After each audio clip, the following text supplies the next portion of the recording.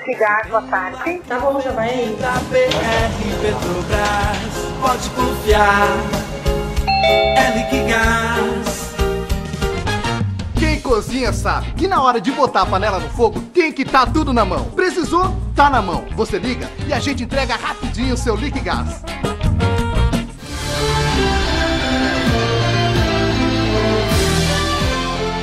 Governo do estado confirmou na tarde da sexta-feira que vai depositar 450 reais para pagamento inicial do salário dos servidores do estado.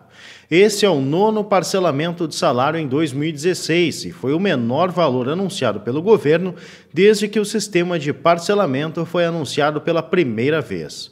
Ironicamente, o anúncio ocorreu no Dia Nacional do Servidor Público. As demais parcelas deverão ser depositadas conforme a entrada de recursos nos cofres do Estado.